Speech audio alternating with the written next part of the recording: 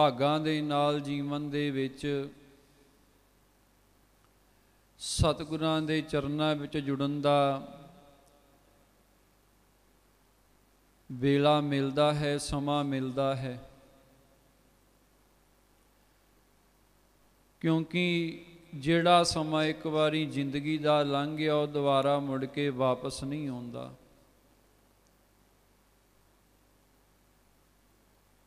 ਇਸੇ ਕਰਕੇ ਹੀ ਸਤਿਗੁਰ ਜੀ ਗੁਰਬਾਣੀ ਦੇ ਵਿੱਚ ਸਾਨੂੰ ਇਹ ਸਮਝਾਉਣ ਦਾ ਯਤਨ ਕਰਦੇ ਨੇ ਕਿ ਭਾਈ ਇਸ ਸਮੇਂ ਦੀ ਸੰਭਾਲ ਕਰ।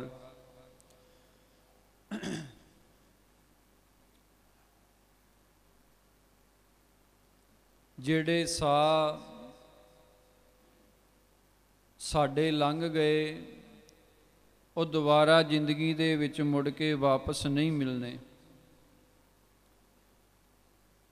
ਪਾਤਸ਼ਾਹ ਜੀ ਦੇ ਬਚਨ ਗੁਰਬਾਣੀ ਦੇ ਵਿੱਚ ਹਰ ਜਪਦਿਆਂ ਖਿੰਨ ਢਿੱਲ ਨਾ ਕੀਜਈ ਮੇਰੀ ਜਿੰਦੜੀਏ ਮਤ ਕੇ ਜਾਪੇ ਸਾਹੋ ਆਵੇ ਕੇ ਨਾ ਆਵੇ RAM ਮਹਾਰਾਜ ਜੀ ਕਹਿੰਦੇ ਨੇ ਭਾਈ, ਨਾਮ ਜਪਣ ਲੱਗਿਆ, ਵਾਹਿਗੁਰੂ ਦਾ ਭਜਨ ਕਰਨ ਲੱਗਿਆ, ਗੁਰੂ ਨੂੰ ਚੇਤੇ ਕਰਨ ਲੱਗਿਆ ਕਦੇ ਵੀ ਢਿੱਲ ਨਹੀਂ ਕਰਨੀ ਚਾਹੀਦੀ। ਜਿਹੜੇ ਸਾਹ ਚੱਲਦੇ ਪਏ ਨੇ, ਇਹਨਾਂ ਨੇ ਕਦੋਂ ਰੁਕ ਜਾਣਾ ਕੋਈ ਪਤਾ ਨਹੀਂ। ਕਹਾਂ ਵਿਸਾਸਾ ਇਸ ਭਾਂਡੇ ਕਾ ਇਤਨਕ ਲਾਗੇ ਠਣਕਾ। ਇਸ ਭਾਂਡੇ ਦਾ ਪਿਆਰਿਓ, ਕੋਈ ਭਰੋਸਾ ਨਹੀਂ, ਇਹ ਮਿੱਟੀ ਹੈ। ਮਾਰਜ ਕਹਿੰਦੇ, ਮਿੱਟੀ ਦਾ ਭਾਂਡਾ ਹੈ। ਪੰਜਾਂ ਤੱਤਾਂ ਦਾ ਇਹ ਸਰੀਰ ਬਣਿਆ ਹੋਇਆ ਹੈ। ਤੇ ਕੋਈ ਪਤਾ ਨਹੀਂ ਇਸ ਭਾਂਡੇ ਨੇ ਕਦੋਂ ਭੱਜ ਜਾਣਾ ਹੈ। ਤੇ ਇਸ ਮਿੱਟੀ ਨੇ ਮਿੱਟੀ ਦੇ ਵਿੱਚ ਮਿਲ ਜਾਣਾ ਹੈ। ਕਬੀਰ ਸਾਹਿਬ ਜੀ ਦੇ ਬਚਨ ਪੜ ਕੇ ਵੇਖਿਓ, ਕਹਿੰਦੇ ਨੇ, ਕਬੀਰ, ਚਾਰ ਦਿਵਸ ਕੇ ਪਾਹੁਣੇ, ਮਾਨਸ ਰੱਖੋ ਨਾਓ। ਕਹਿੰਦੇ, ਚਾਰ ਦਿਨਾਂ ਦਾ ਤੂੰ ਪਰੋਣਾ ਹੈ, ਬੰਦਾ ਚਾਰ ਦਿਨਾਂ ਦਾ ਪਰੋਣਾ ਹੈ ਸੰਸਾਰ ਦੇ ਵਿੱਚ। ਤੇ ਮਨੁੱਖ ਇਹਦਾ ਨਾਮ ਰੱਖ ਦਿੱਤਾ ਗਿਆ।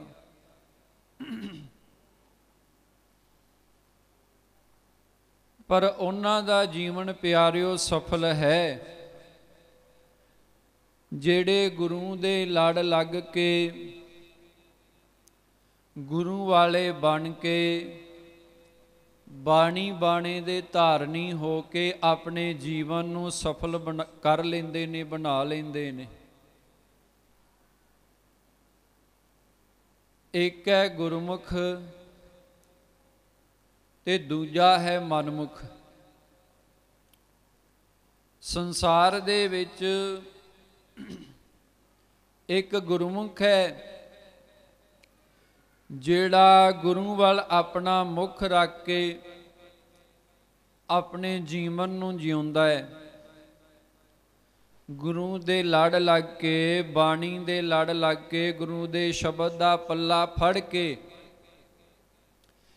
ਭਜਨ ਕਰਕੇ ਬੰਦਗੀ ਕਰਕੇ ਸੇਵਾ ਕਰਕੇ ਸਤ ਸੰਗ ਕਰਕੇ ਚੰਗੇ ਕਰਮ ਕਰਕੇ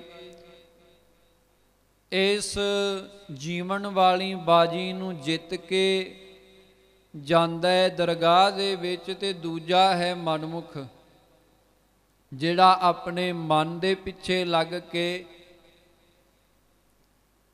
ਈਰਖਾ ਦੇ ਵਿੱਚ ਪੈ ਕੇ, ਨਿੰਦਿਆ ਦੇ ਵਿੱਚ ਪੈ ਕੇ, ਵਾਸ਼ਨਾਵਾਂ ਦੇ ਵਿੱਚ, ਵਿਕਾਰਾਂ ਦੇ ਵਿੱਚ ਪੈ ਕੇ, ਮਾੜੇ ਕਰਮਾਂ ਵਾਲੇ ਪਾਸੇ ਲੱਗ ਕੇ ਆਪਣੀ ਜੀਵਨ ਵਾਲੀ ਬਾਜੀ ਨੂੰ ਹਾਰ ਕੇ ਇਸ ਸੰਸਾਰ ਤੋਂ ਚਲਿਆ ਜਾਂਦਾ ਹੈ।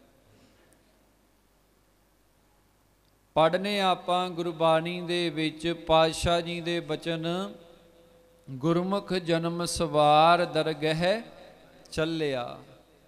ਸੱਚੀ ਦਰਗਹਿ ਜਾਏ ਸੱਚਾ ਪਿੜ ਮੱਲਿਆ। ਤੇ ਜਾਏ ਬਚਨ ਪੜਦਿਆਂ ਗੁਰਮੁਖ ਲਾਹਾ ਲੈ ਗਏ, ਮਨਮੁਖ ਚੱਲੇ ਮੂਲ ਗਵਾਏ ਜੀਓ। ਅਨੇਕਾ ਬਚਨ ਗੁਰਬਾਣੀ ਦੇ ਵਿੱਚ ਆਉਂਦੇ ਨੇ, ਗੁਰਮੁਖ ਜਿੱਤਾ, ਮਨਮੁਖ ਹਾਰਿਆ। ਮਰਜ਼ ਕਹਿੰਦੇ ਗੁਰਮੁਖ ਜਿੱਤ ਗਿਆ ਤੇ ਮਨਮੁਖ ਇਸ ਜੀਵਨ ਵਾਲੀ ਬਾਜੀ ਹੈ, ਇੱਕ ਬਾਜੀ ਹੈ ਜੀਵਨ। ਇਹ ਜਿਹੜਾ ਸੰਸਾਰ ਹੈ, ਵਾਹਿਗੁਰੂ ਦੀ ਬਣਾਈ ਹੋਈ ਰਚਨਾ ਹੈ। ਮਰਜ ਕਹਿੰਦੇ ਨੇ, ਬਾਜੀਗਰ ਬਾਜੀ ਪਾਈ, ਸਭ ਖਲਕ ਤਮਾਸੇ ਆਈ। ਕਹਿੰਦੇ ਉਹ ਪਰਮਾਤਮਾ ਬਾਜੀਗਰ ਹੈ, ਉਹਨੇ ਬਾਜੀ ਪਾਈ ਹੈ ਸੰਸਾਰ। ਉਹਨੇ ਇਹ ਖੇਡ ਬਣਾਈ ਹੈ ਤੇ ਉਹ ਵੇਖਦਾ ਕਿ ਕਿਹੜਾ ਇਸ ਬਾਜੀ ਨੂੰ ਜਿੱਤ ਕੇ ਜਾਏਗਾ, ਜੀਵਨ ਵਾਲੀ ਬਾਜੀ ਨੂੰ ਤੇ ਕਿਹੜਾ ਹਾਰ ਕੇ ਜਾਏਗਾ। ਬਾਜੀਗਰ ਬਾਜੀ ਪਾਈ, ਸਭ ਖਲਕ ਤਮਾਸੇ ਆਈ। ਇਸ ਸੰਸਾਰ ਦੇ ਰੰਗ ਤਮਾਸ਼ੇ ਜਿਹੜੇ ਨੇ, ਸਾਨੂੰ ਚੰਗੇ ਲੱਗਦੇ ਨੇ। ਪਰ ਮਹਾਰਾਜ ਕਹਿੰਦੇ ਗੁਰਮੁਖ ਜਿੱਤ ਗਏ ਜੀਵਨ ਵਾਲੀ ਬਾਜੀ। ਮਨ ਮੁਖ ਹਾਰ ਗਏ, ਜਿੱਤ ਗਏ ਜੀਵਨ ਵਾਲੀ ਬਾਜੀ। ਮਨ ਮੁਖ ਹਾਰ ਗਏ। ਗੁਰਮੁਖ ਜਿਤ ਗਏ ਜੀਵਨ ਵਾਲੀ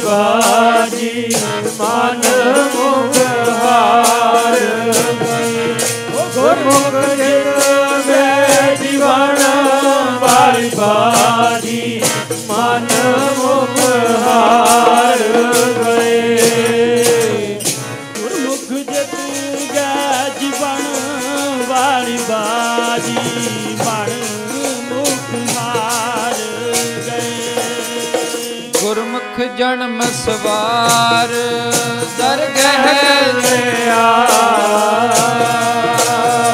ਸੱਚੀ ਦਰਗਹਿ ਜਾਏ, ਸੱਚਾ ਪਿੜ ਮੱਲਿਆ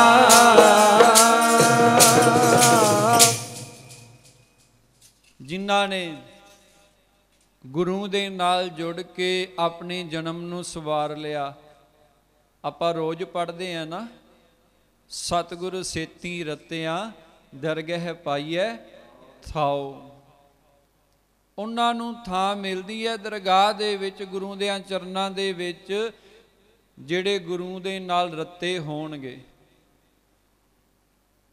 ਆ ਸਾਡੇ ਮਨ ਤੇ ਮਾਇਆ ਦੇ ਰੰਗ ਦੇ ਵਿੱਚ ਰੱਤੇ ਹੋਏ ਨੇ ਨਾ। ਈਰਖਾ ਦੇ ਵਿੱਚ, ਨਿੰਦਿਆ ਦੇ ਵਿੱਚ ਵਾਸ਼ਨਾਵਾਂ ਦੇ ਵਿੱਚ, ਵਕਾਰਾਂ ਦੇ ਵਿੱਚ ਬੇਈਮਾਨੀਆਂ ਕਰਦੇ ਆ, ਦੂਜਿਆਂ ਦਾ ਹੱਕ ਮਾਰਦੇ ਆ। ਪਰ ਯਾਦ ਰੱਖਿਓ,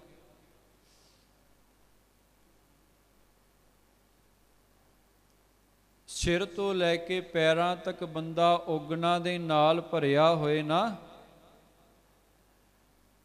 ਤੇ ਮਹਾਰਾਜ ਕਹਿੰਦੇ ਨੇ, ਇਹੋ ਜੇ ਬੰਦੇ ਨੂੰ ਜੇ ਗੁਰੂ ਤਰਸ ਕਰਕੇ ਪੂਰੇ ਸਤਿਗੁਰ ਦੀ ਸੇਵਾ ਦੇ ਵਿੱਚ ਲਾ ਦੇ ਨਾ ਨਿਗੁਣਿਆਂ ਨੂੰ ਆਪੇ ਬਖਸ਼ ਲੈ ਭਾਈ ਸਤਿਗੁਰ ਕੀ ਸੇਵਾ ਲਾਏ।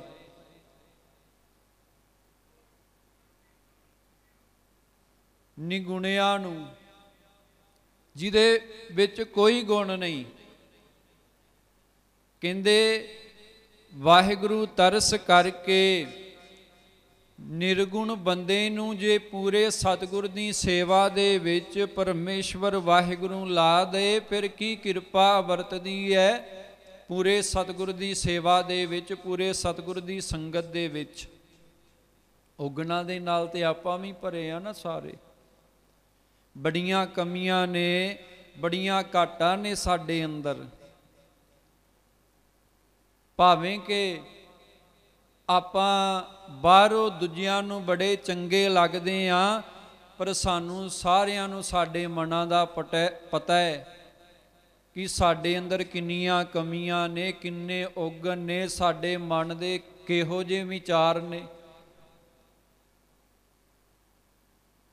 ਤੇ ਮਹਾਰਾਜ ਕਹਿੰਦੇ ਨੇ, ਨਿਗੁਣੇ ਬੰਦੇ ਨੂੰ ਜਦੋਂ ਅਕਾਲ ਪੁਰਖ ਵਾਹਿਗੁਰੂ ਤਰਸ ਕਰਕੇ ਪੂਰੇ ਸਤਿਗੁਰ ਦੀ ਸੇਵਾ ਦੇ ਵਿੱਚ ਲਾ ਦਿੰਦਾ ਹੈ, ਫਿਰ ਕੀ ਕਿਰਪਾ ਵਰਤਦੀ ਹੈ? ਸਤਿਗੁਰ ਕੀ ਸੇਵਾ ਉਤਮ ਹੈ ਭਾਈ? RAM ਨਾਮ ਚਿਤ ਲਾਏ। ਕਹਿੰਦੇ ਪੂਰੇ ਸਤਿਗੁਰ ਦੀ ਸੇਵਾ ਇੰਨੀ ਮਹਾਨ ਹੈ ਕਿ ਨਿਗੁਣੇ ਬੰਦੇ ਦਾ ਮਨ ਵੀ ਪਰਮੇਸ਼ਵਰ ਦੇ ਨਾਮ ਦੇ ਨਾਲ ਜੁੜ ਜਾਂਦਾ ਹੈ। ਸਿਰ ਤੋਂ ਲੈ ਕੇ ਪੈਰਾਂ ਤੱਕ ਓਗਨ ਨੇ, ਇੱਕ ਵੀ ਗੁਣ ਨਹੀਂ। ਤੇ ਜੇ ਕਿਤੇ ਵਾਹਿਗੁਰੂ ਨੂੰ ਤਰਸ ਆ ਜਾਵੇ ਉਹ ਦਇਆ ਕਰਕੇ ਇਹੋ ਜੇ ਬੰਦੇ ਨੂੰ ਪੂਰੇ ਸਤਿਗੁਰ ਦੀ ਸੇਵਾ ਦੇ ਵਿੱਚ ਲਾ ਦੇਵੇ ਤੇ ਮਰਜ਼ ਕਹਿੰਦੇ ਨੇ, ਪੂਰੇ ਸਤਿਗੁਰ ਦੀ ਸੇਵਾ ਐਸੀ ਹੈ ਜਿਹੜੀ ਨਿਗੁਣੇ ਬੰਦੇ ਨੂੰ ਵੀ ਗੁਣਵਾਨ ਬਣਾ ਦਿੰਦੀ ਹੈ। ਇਹ ਪਰਮੇਸ਼ਵਰ ਦੀ ਵਡਿਆਈ ਹੈ, ਦਾਤੈ ਦਾਤ ਰਖੀ ਹਤ ਆਪਣੇ, ਜਿਸ ਭਾਵੈ ਤਿਸ ਦੇ। ਉਸ ਦਾਤੇ ਦੇ ਹੱਥ ਦੇ ਵਿੱਚ ਦਾਤ ਹੈ। ਆਪਾਂ ਰੋਜ਼ ਪੜ੍ਹਦੇ ਆਂ ਬਚਨ ਜਿਹੜੇ ਗੁਰਸਿੱਖ ਗੁਰਮੁਖ ਨਿਤਨੇਮ ਕਰਦੇ ਨੇ, ਜਪਜੀ ਸਾਹਿਬ ਦੇ ਵਿੱਚ ਨਾਨਕ ਨਿਰਗੁਣ ਗੁਣ ਕਰੇ, ਗੁਣਵੰਤਿਆਂ ਗੁਣ ਦੇ। ਉਹ ਪਰਮੇਸ਼ਵਰ ਐਸਾ ਹੈ ਜਿਹੜਾ ਨਿਰਗੁਣ ਨੂੰ ਵੀ ਗੁਣਵਾਨ ਬਣਾ ਦਿੰਦਾ ਤੇ ਗੁਣਵੰਤਿਆਂ ਨੂੰ ਜਿਹੜੇ ਗੁਣਵਾਨ ਨੇ, ਉਹਨਾਂ ਨੂੰ ਹੋਰ ਗੁਣ ਬਖਸ਼ਿਸ਼ ਕਰਦਾ ਹੈ।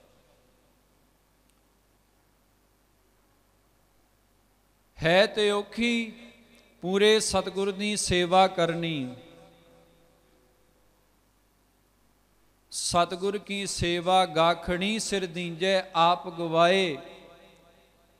ਮਹਾਰਾਜ ਜੀ ਕਹਿੰਦੇ ਨੇ, ਪੂਰੇ ਸਤਿਗੁਰ ਦੀ ਸੇਵਾ ਕਰਨੀ ਬੜੀ ਔਖੀ ਹੈ ਆਪਣਾ ਸਿਰ ਦੇਣਾ ਪੈਂਦਾ ਆਪਣਾ ਆਪ ਗਵਾਉਣਾ ਪੈਂਦਾ ਹੈ ਤਾਂ ਉਹ ਸੇਵਾ ਸਫਲ ਹੁੰਦੀ ਹੈ। ਸਿਰ ਦੇਣ ਦਾ ਭਾਵ ਕੀ ਹੈ? ਆਪਣੀ ਮੈਂ ਨੂੰ, ਆਪਣੇ ਹੰਕਾਰ ਨੂੰ ਖਤਮ ਕਰਕੇ ਆਪਣਾ ਆਪ ਗਵਾ ਕੇ ਅਸੀਂ ਸੇਵਾ ਕਰਦੇ ਆਂ ਪਰ ਆਪਣਾ ਆਪ ਥੋੜੀ ਗਵਾਉਂਦੇ ਆ ਆਪਾਂ ਸੇਵਾ ਕਰਦੇ ਆਂ ਕੋਈ ਵਿਰਲਾ ਹੁੰਦਾ ਹੈ ਜਿਹੜਾ ਆਪਣਾ ਆਪ ਗਵਾ ਕੇ ਆਪਣੀ ਹੋਮੇ ਨੂੰ, ਹੰਕਾਰ ਨੂੰ ਮਾਰ ਕੇ ਸੇਵਾ ਕਰਦਾ ਪੂਰੇ ਸਤਿਗੁਰ ਦੀ। ਇੱਥੇ ਤਾਂ ਪਿਆਰਿਓ, ਗੁਰੂ ਨਾਨਕ ਦੇ ਘਰ ਦੇ ਵਿੱਚ ਐਸੀ ਵਡਿਆਈ ਹੈ, ਸੰਗਤ ਨੂੰ ਗੁਰੂ ਦਾ ਰੂਪ ਮੰਨਿਆ ਜਾਂਦਾ ਹੈ। ਵਿੱਚ ਸੰਗਤ ਹਰ ਪ੍ਰਭ ਵਸੈ ਜੀਓ। ਸੰਗਤ ਦੇ ਵਿੱਚ ਗੁਰੂ ਆਪ ਵਰਤਦਾ ਹੈ। ਇਹ ਭਾਵਨਾ ਬਣਾ ਕੇ ਸੇਵਾ ਕਰੀਏ, ਜਦੋਂ ਵੀ ਸੰਗਤ ਦੀ ਸੇਵਾ ਕਰਨੀ ਹੈ, ਸੰਗਤ ਦੇ ਵਿੱਚ ਸੇਵਾ ਕਰਨੀ ਹੈ, ਲੰਗਰ ਬਣਾਉਣਾ ਹੈ, ਸੰਗਤ ਨੂੰ ਲੰਗਰ ਛਕਾਉਣਾ ਹੈ, ਸੰਗਤ ਦੇ ਝੂਠੇ ਭਾਂਡੇ ਮਾਂਜਣੇ ਨੇ, ਇਹ ਸਮਝਣਾ ਅਸੀਂ ਪੂਰੇ ਸਤਿਗੁਰ ਦੀ ਸੇਵਾ ਕਰਦੇ ਪਏ ਆ ਤਾਂ ਪਿਆਰਿਓ ਗੁਰੂ ਦੀ ਬਖਸ਼ਿਸ਼ ਮਿਲਦੀ ਹੈ ਗੁਰੂ ਦੀ ਕਿਰਪਾ ਮਿਲਦੀ ਹੈ ਉਦਾਂ ਨਹੀਂ। ਅਨੇਕਾਂ ਬਚਨ ਆਉਂਦੇ ਨੇ, ਸੇਵਾ ਦੇ ਪ੍ਰਥਾਏ, ਸਤਿਗੁਰ ਕੀ ਸੇਵਾ ਸਫਲ ਹੈ, ਕਦੋਂ ਸਫਲ ਹੈ? ਜੇ ਕੋ ਕਰੈ, ਚਿਤ ਲਾਏ। ਮਹਾਰਾਜ ਜੀ ਕਹਿੰਦੇ ਨੇ, ਉਦੋਂ ਸਫਲ ਹੈ ਸੇਵਾ, ਆਪਾਂ ਕਹਿੰਨੇ ਆ ਅਸੀਂ ਬੜੀ ਸੇਵਾ ਕੀਤੀ, ਪਰ ਗੁਰੂ ਨੇ ਬਖਸ਼ਿਸ਼ ਨਹੀਂ ਕੀਤੀ, ਪਹਿਲਾਂ ਇਹ ਤੇ ਵੇਖ ਤੇਰੀ ਸੇਵਾ ਸਫਲ ਹੋਈ ਹੈ ਕਿ ਨਹੀਂ ਹੋਈ? ਜਦੋਂ ਤੂੰ ਸੇਵਾ ਕੀਤੀ, ਤੇਰਾ ਮਨ ਹਾਜ਼ਰ ਸੀ ਕਿ ਨਹੀਂ ਹਾਜ਼ਰ ਸੀ? ਤੇ ਮਹਾਰਾਜ ਕਹਿੰਦੇ ਨੇ, ਸਤਿਗੁਰ ਕੀ ਸੇਵਾ ਸਫਲ ਹੈ ਜੇ ਕੋ ਕਰੈ ਚਿਤ ਲਾਏ, ਮਨ ਚਿੰਦਿਆ ਫਲ ਪਾਵਣਾ ਹਉਮੈ ਵਿੱਚੋਂ ਜਾਏ। ਕਹਿੰਦੇ ਜੇ ਚਿੱਤ ਲਾ ਕੇ ਸਿੱਖਾ ਤੂੰ ਪੂਰੇ ਸਤਿਗੁਰ ਦੀ, ਸੰਗਤ ਦੀ ਸੇਵਾ ਕਰੇਗਾ, ਤੈਨੂੰ ਫਲ ਵੀ ਮਿਲੇਗਾ, ਮਨ ਚਿੰਦਿਆ ਜਿਹੜੀ ਤੇਰੀ ਭਾਵਨਾ ਹੋਏਗੀ, ਜੋ ਇੱਛਾ ਹੋਏਗੀ, ਤੇਰੀ ਹਉਮੈ ਵੀ, ਹਉਮੈ ਵਿੱਚੋਂ ਜਾਏ, ਤੇਰੇ ਅੰਦਰੋਂ ਹਉਮੈ ਵੀ ਖਤਮ ਹੋ ਜਾਏਗੀ। ਇਹ ਹੈ ਸੇਵਾ ਦੀ ਵਡਿਆਈ। ਮਹਾਂਪੁਰ ਕਈ ਵਾਰ ਕਹਿੰਦੇ ਹੁੰਦੇ ਨੇ ਸੇਵਾ ਤੇ ਸਿਮਰਨ ਦੇ ਦੋ ਖੰਭ ਜਿਹੜੇ ਨੇ ਨਾ, ਸਾਡੇ ਸਤਿਗੁਰਾਂ ਨੇ ਸਾਨੂੰ ਬਖਸ਼ਿਸ਼ ਕੀਤੇ ਨੇ। ਸੇਵਾ ਤੇ ਸਿਮਰਨ।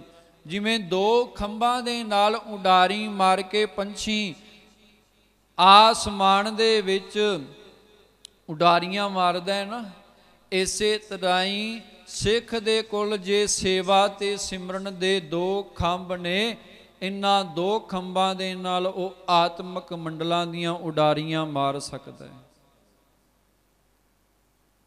ਪਰ ਮਹਾਰਾਜ ਕਹਿੰਦੇ ਨੇ, ਸੇਵਾ ਉਦੋਂ ਸਫਲ ਹੈ ਜਦੋਂ ਮਨ ਜੁੜਿਆ ਹੋਏਗਾ, ਤਾਂ ਗੱਲ ਬਣਦੀ ਹੈ।